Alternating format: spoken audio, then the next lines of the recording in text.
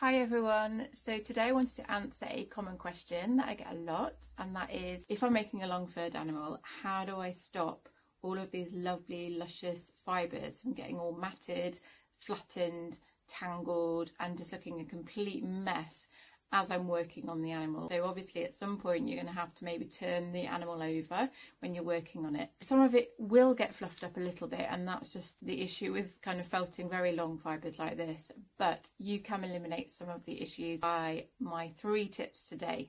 Please feel free to comment and say what you do because that would be really helpful to kind of share tips and ideas with each other as well. What I would start with first of all is to say that I would plan ahead.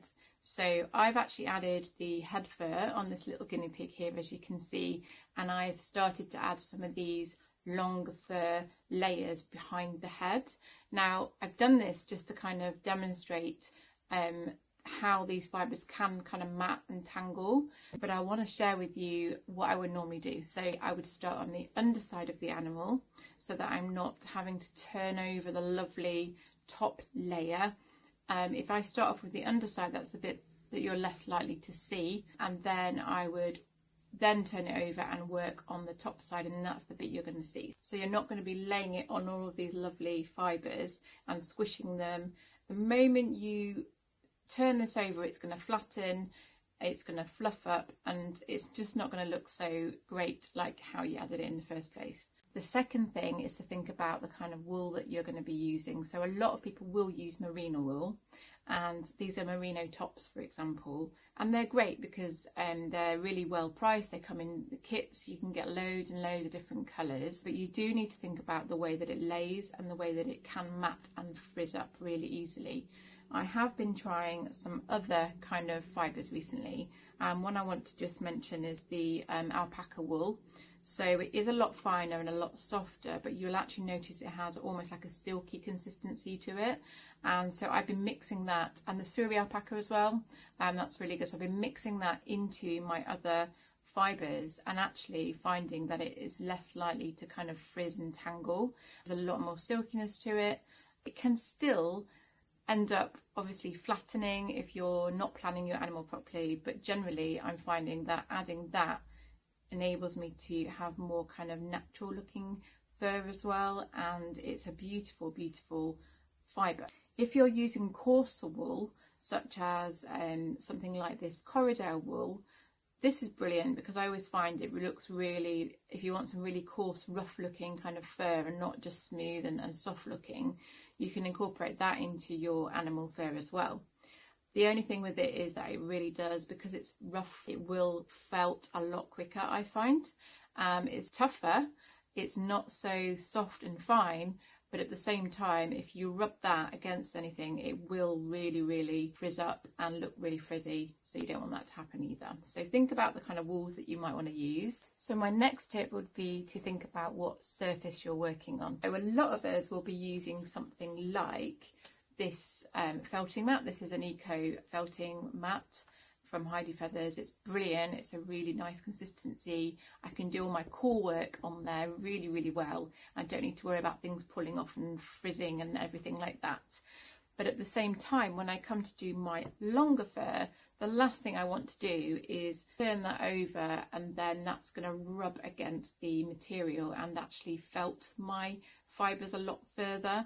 I want them to just look really lovely on the animal and I don't want them to rough up and tangle. So when you're thinking about what you're working on, think about something that is not going to be fraying your felting. Once I've made my core base for my animal, the actual shape of my animal, by the way, these little markings are to show where I'm going to put the different patterns of the different fur colours.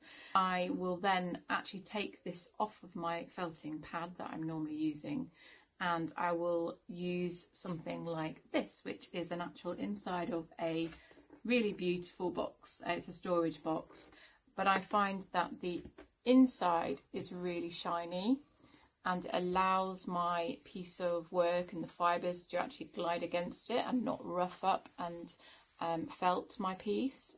Now obviously it might move around a little bit but because it's contained in this area it's not going to kind of slip off my lap. Now that's great for if you're holding your animal on there and you're stabbing in.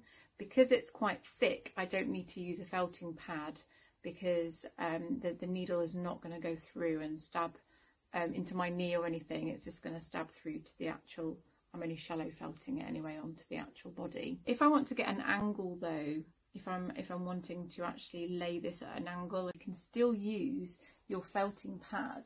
So you can use the felting pad, but then lay something over it. So something like um, some satin or silk is really good because it's a shiny material. You don't want to get as too much static though, so just be careful of the material you're using.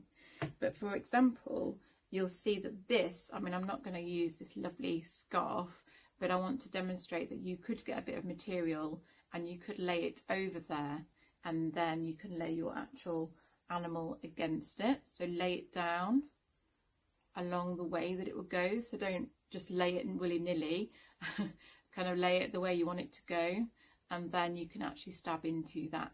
Okay, now I don't tend to use this because this is really kind of thin. I don't want to ruin it and also it, it moves around um, an awful lot with my piece. Um, so I tend to use quite literally just a piece of um, I've not even taken the label off this. This is just a bag that my wool came in. So I will put that over. You can move that around. It will slide a little bit, but that's fine. Um, you can get some good control of that. And again, you would lay in the way that the direction of the fur goes and you would just stab from there. It doesn't matter if your needle goes into the plastic a little bit, but because it's so thick, it shouldn't anyway. If you're making something quite thin, say you're adding long fur to ears, then clearly you would need to use something like this to felt into um, so that you're not stabbing into your knee or into the plastic too much. And again, something like paper, it's just kind of tissue paper, but you'll see it's got a really nice uh, shine to it.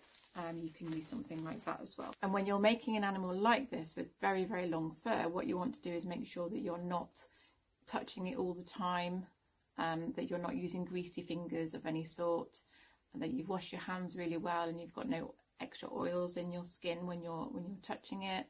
And what you might find is that you kind of twist it down when you're working on it like so. Lay it down. If, if you have to lay it down at any point then it will go on the nice shiny material and then you can just plump them up at the end so really it's about protecting your layers, making sure that you're not getting them fluffed up in any way that you don't want them to. There's some tips though really just to share with you to help you protect your wool better when you're working through and making your needle felted animals.